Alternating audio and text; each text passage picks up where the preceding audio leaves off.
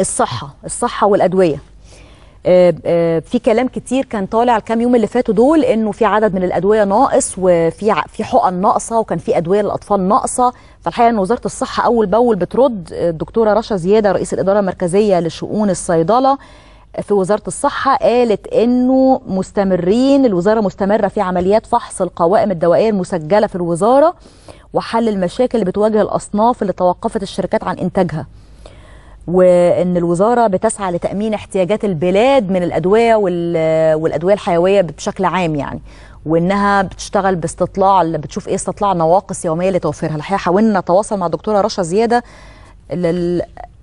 للأسف مش مش متاحة إن هي تدخل معانا على الهوا. لكن الحقيقة إنه كان مهم إن إحنا نسألها لإنه في كلام زي ما بقول لحضراتكم إنه في بعض الأدوية ناقصة. رجع تاني في نقص نواقص في الأدوية فعايزين نتكلم على آه، نقص الأدوية معاها. آه، بمناسبة الكلام عن الصحة بقى والدواء والصيدلية أصل بتصرف دواء ده يعني صيدلية. آه، في مجموعة من الأطباء الصيادلة الدكاترة الصيادلة يعني عملوا حملة فكرتها حلوة جدا. اكتشفوا إنه في آه، عشرين ألف صيدلية في مصر تقريبا اللي بيديرها غير متخصصين لدرجة إنه ممكن يعني اللي يصرف لحضرتك كم- كمريض الروشتة يبقى عامل مثلا حاصل على دبلوم. كل احترامنا طبعا لأي حد عنده دبلوم أو ايا كان مستواه العلمي التعليمي إيه بس يعني هي الفكرة إنه ما ينفعش حضرتك ده يصرف لك دواء. الموضوع ده مهم جدا وحضراتكم هتسمعوا بنفسكم ده في التقرير. فكرة الاستسهال وإني أوقف حد في الصيدلية يمسك الروشتة يقرأ فيقوم يطابق اسم الدواء بده وهو مش صيدلاني ومش متخصص دي كارثة. في تشابه ممكن يحصل. الحقيقة إنه كان في حادثة كانت شهيرة يعني يعني لإحدى زميلاتنا في المجال الإعلامي من من حوالي سنتين تقريبا إنه يعني خطيبها دخل الصيدليه ياخد حقنة مع إنه المفروض إن الواقف ده صيدلي بس يعني بدل ما يديها له وريد اداها له بدل ما يديها له عضل اداها له وريد وتوفي في الحال بعدها بلحظات. في في كوارث بتحصل الحقيقة رحمة الله عليه طبعا ورحمة الله على الجميع. يعني في كوارث الحقيقة بتحصل في الموضوع ده. ده موضوع لا يستهان بيه ابدا. فكرة مين اللي واقف في الصيدلية؟ ما فيش حاجة اسمها إن الصيدلي يبقى رايح مشوار فيوقف حد. الحد ده لو وقف ثلاث دقائق ممكن يصرف روشته في تشابه في أسماء أدوية. في زميل لينا كان بيحكي لنا إنه زوجته وهي حامل آه، آه، آه، راح يصرف لها دواء.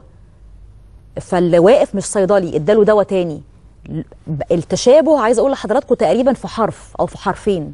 لولا ستر الله إن زوجة زوجة زميلنا يعني مثقفة وبتعمل في المجال الطبي. فلما قرت الاسم الدواء الغلط اللي أخدته ده كان ممكن لا قدر الله يسبب لها إجهاض لو أخدته. في بقى نقعد نحكي قصص للصبح سلامة المريض وما ينفعش أي حد يصرف الدواء من الصيدلية وكده. تعالوا نشوف مع بعض التقرير ده اللي قعدته لنا زميلتنا مارينا أمير عن حملة وهي حملة إمسك دخيل. مين الدخيل؟ الدخيل اللي هنعرف هو مين في هذا التقرير. الدخيل هو كل من يقف في صيدلية أو يقوم بصرف الدواء للمريض وهو غير متخصص. نشوف مع بعض التقرير.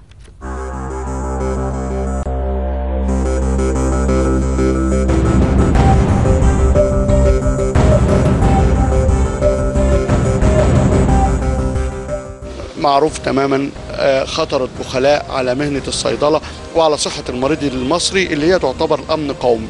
الفترة اللي فاتت بدأت تظهر مشاكل كتيرة من من الدخلاء. عند إعطاء حقن ممارسة آه، حتى يعني يمكن بيمارسوا دور الأطباء مش دور مش بس دور الصيادلة بيمارسوا دور الأطباء. يعني السنة اللي فاتت كان في طفل في منطقة الجيزة هنا مات بسبب إن دخي... آه، ان ان إن شاب مش مؤهل اداله حقنة ولقى ان إن. آه، إن الطفل بدأ يخش في غيبوبة بدأ يعمل له إسعافات بطريقة معينة مات السنة دي في منشورات الإدارة المركزية كانت بتحذر من حقن معينة وبتحذر من أدوية معينة الدخلاء ما بي ما بيراعوش لأن ما بيوصل لهمش المنشورات دي المساعد ما يكونش عارف أضرار الجانبيه للأدوية فما يقدرش يشرحها كويس. ممكن في بعض الأدوية بتسبب حساسية لمرضى معينين هو ما ما ما يكون ما يكونش عارف بيها. بيبقى في تدخلات أدوية جرعات مش مظبوطة ساعات.